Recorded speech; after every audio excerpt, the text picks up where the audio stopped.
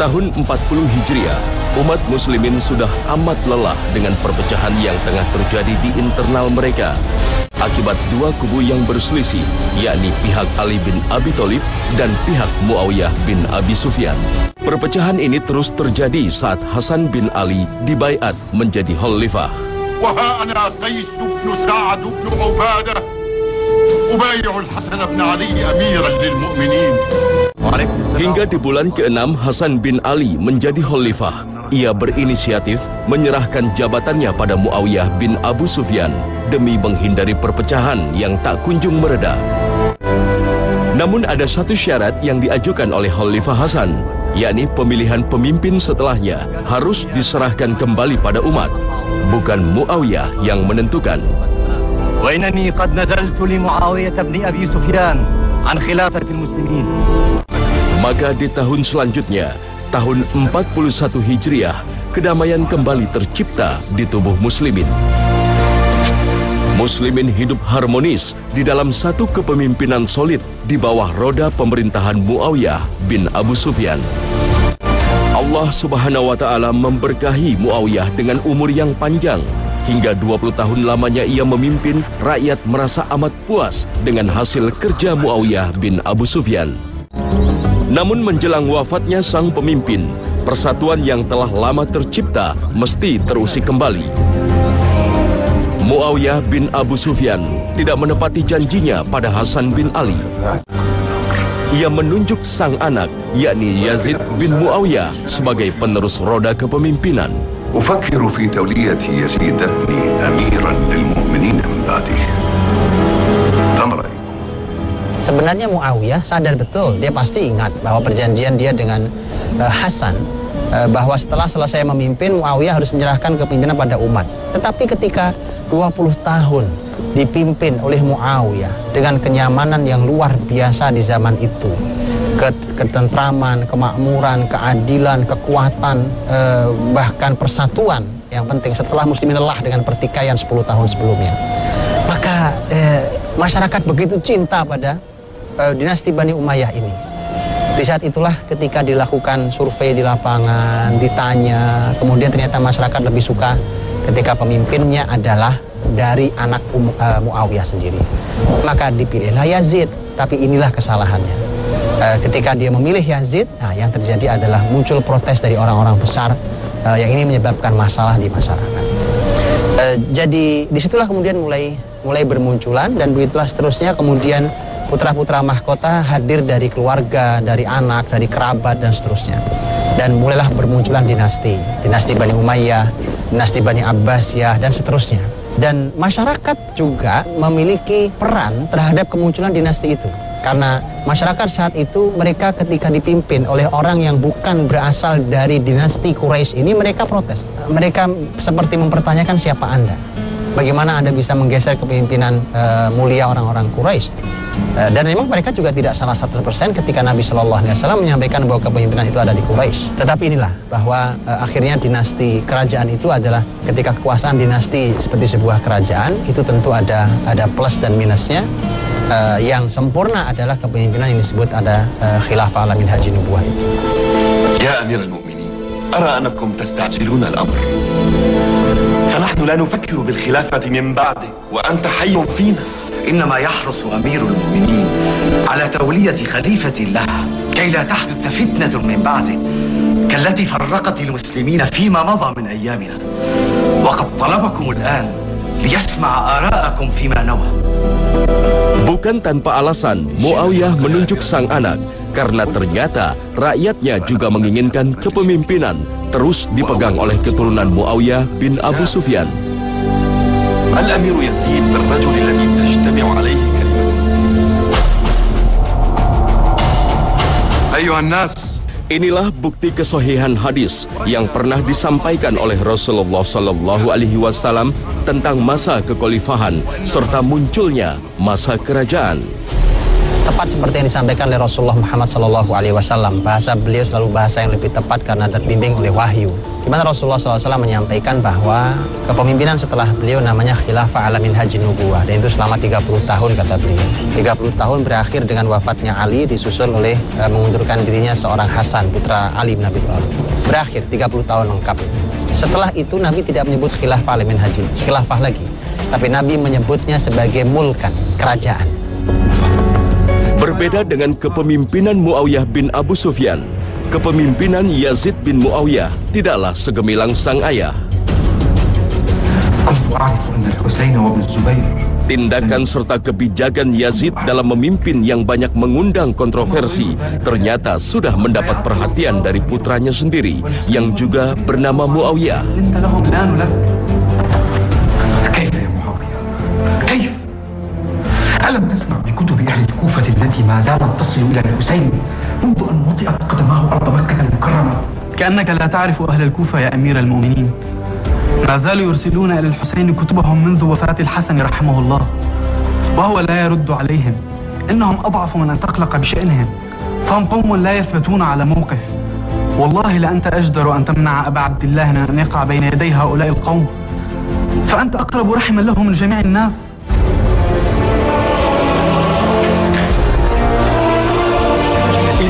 Muawiyah bin Yazid, seorang yang dicatat sejarah sebagai seorang yang telah mengubah peta kepemimpinan Bani Umayyah. Ada dua eh, pemimpin yang bernama Muawiyah di yang berdekatan dan di hubungan persaudaraan. Yang satu Muawiyah senior adalah Muawiyah eh, sahabat Nabi SAW putra dari Abu Sufyan. Kemudian eh, Muawiyah yang junior adalah cucunya Muawiyah senior dan ini adalah Muawiyah putra Yazid. Maka Muawiyah yang sedang kita bahas adalah Muawiyah junior, yaitu Muawiyah putranya Yazid, Yazid putranya Muawiyah dan Muawiyah yang senior ini adalah putranya Abu Sufyan. Muawiyah junior ini dia disebutkan dalam kitab sejarah bahwa dia sebagai orang yang eh, kana rajulan salihan, eh, dayyinan, yaitu orang yang soleh, orang yang beragama sangat baik. Eh, disebutkan seperti itu sampai sampai disebutkan oleh seorang ahli sejarah bahwa seorang Muawiyah senior dan Muawiyah junior ini mengapit eh, seorang Yazid sampai disebutkan bahwa eh, ada keburukan yang diapit oleh dua kebaikan. Muawiyah bin Yazid lahir di tahun 41 Hijriah bersamaan Amul Jamaah atau Tahun Persatuan Umat Muslim. Sebagai cucu dan anak dari pemimpin Bani Umayyah, Muawiyah bin Yazid tumbuh dalam lingkungan yang memiliki nilai-nilai kepemimpinan dan pendidikan yang baik. Dari sang kakek Muawiyah bin Abu Sufyan, Muawiyah bin Yazid banyak memetik pelajaran dari kepemimpinan kakeknya.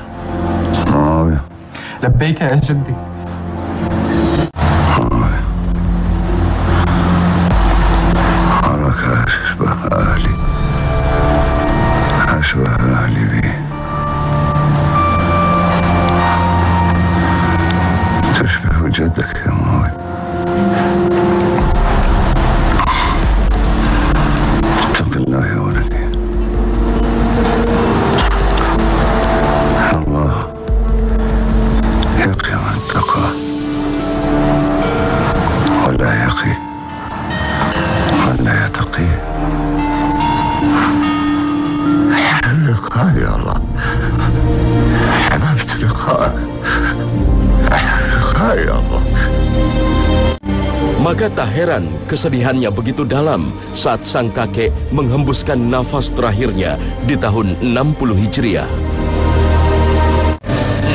Ini memang menunjukkan satu hal bahwa bicara tentang Yazid putra Muawiyah yang memimpin setelah eh, selesainya Muawiyah radhiyallahu anhu, Yazid ini bukan sahabat ya dan Yazid ini adalah orang yang oleh para ulama bahkan segelas Imam Ahmad rahimallahu taala beliau mengatakan bahwa eh, kita tidak memuji dia eh, kita tapi juga tidak boleh melaknat dia.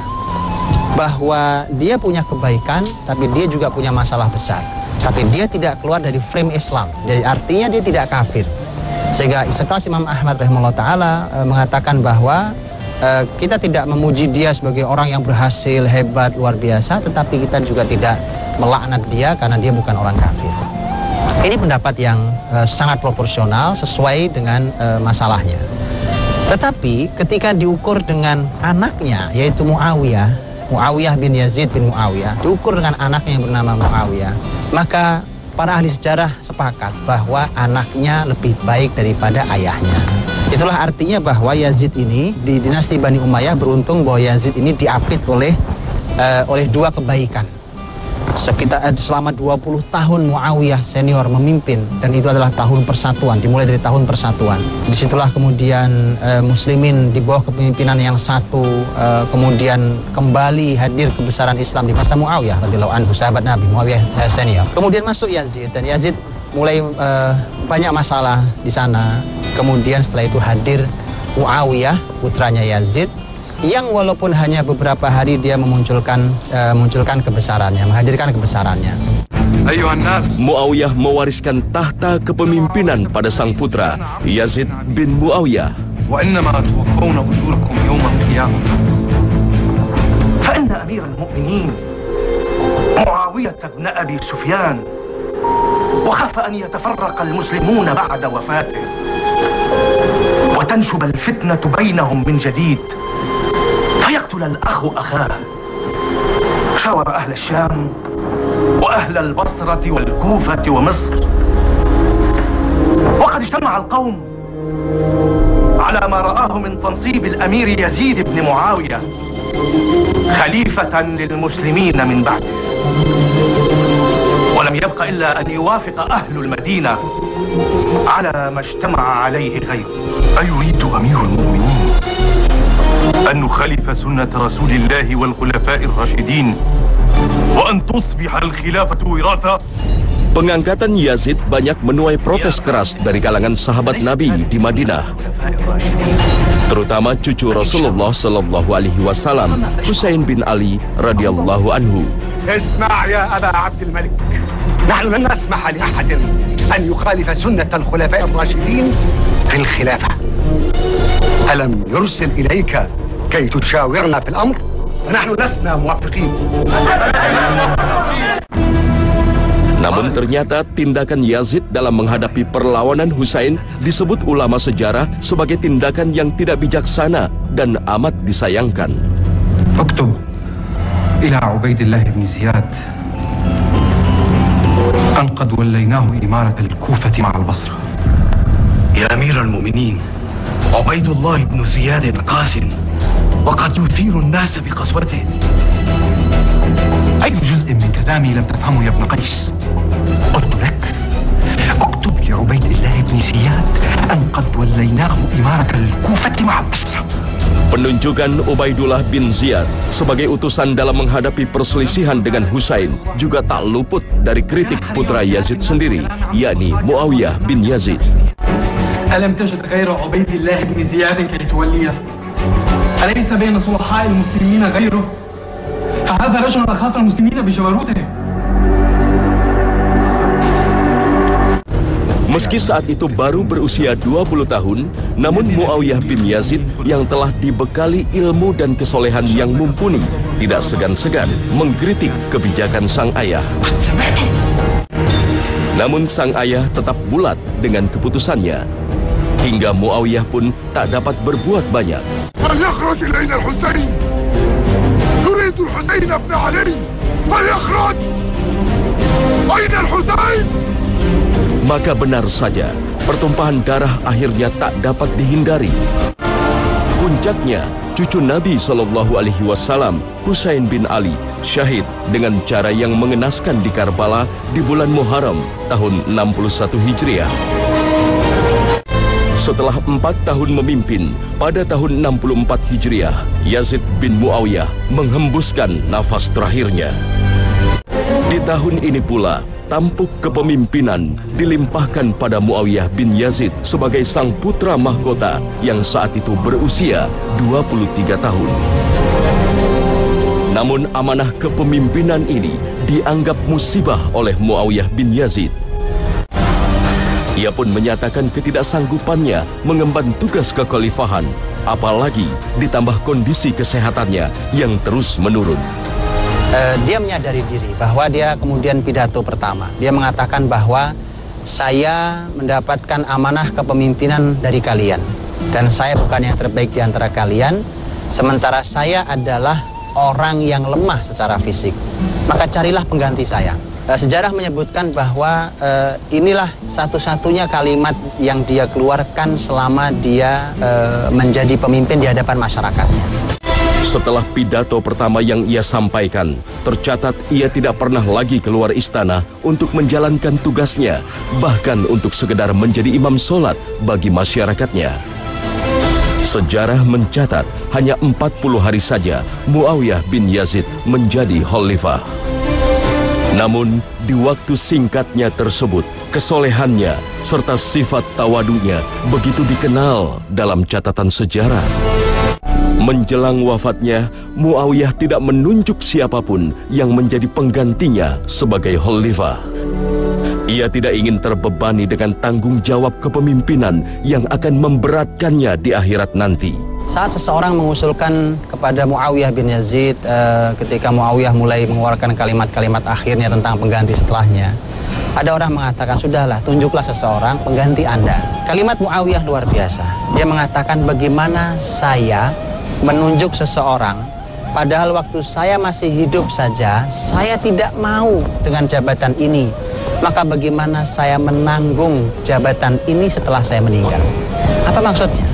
Bahwa orang yang saya tunjuk itu adalah tanggung jawab saya di hadapan Allah. Ketika saya menunjuk seseorang, saya mengamanahi. Hitunglah hari ini ketika kita mengamanahkan suara kita. Jangan dipikir tidak dipertanggungjawabkan di hadapan Allah Subhanahu wa taala. Seperti Muawiyah, apa yang saya berikan, amanah yang saya berikan kepada orang itu, nanti baik buruknya orang itu, maka saya akan bertanggung jawab di hadapan Allah. Saya masih hidup saja tidak mau memegang kekhilafan ini maka bagaimana saya mau menanggung semua masalah orang itu sepeninggal saya. Menjelang wafat, Muawiyah sempat melontarkan kritik terhadap kepemimpinan keluarganya. Kritikan ini pula yang dicatat sejarah sebagai bentuk permohonan maafnya terhadap umat atas seluruh kesalahan keluarganya yang pernah dilakukan selama memimpin. Sebuah pernyataan Muawiyah bin Yazid menjadi catatan menarik bagi para ahli sejarah Islam mengenai keberlangsungan dinasti Umayyah. Pernyataan yang dianggap mencerminkan sikap dari seorang pemimpin soleh yang dikabulkan oleh Allah Subhanahu wa Ta'ala. Doa dan ucapan Muawiyah bin Yazid benar-benar menjadi kenyataan. Setelah wafatnya Muawiyah bin Yazid, setiap keluarga dari garis keturunan Abu Sufyan yang mencoba atau dicalonkan menjadi pemimpin selalu gagal.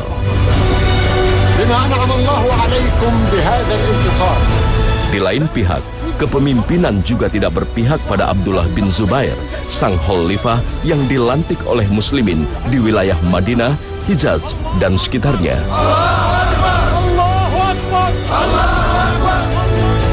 Setiap kali posisi kepemimpinan hendak diserahkan pihak Bani Umayyah pada Abdullah bin Zubair, maka saat itu pula lah kesepakatan selalu menemui kegagalan. Hingga akhirnya kepemimpinan pun tetap dilanjutkan oleh keturunan keluarga Umayyah, tepatnya pada diri seorang Marwan bin Hakam. Bukan melalui garis keluarga Abu Sufyan, melainkan melalui garis keluarga Abul As, paman dari Abu Sufyan.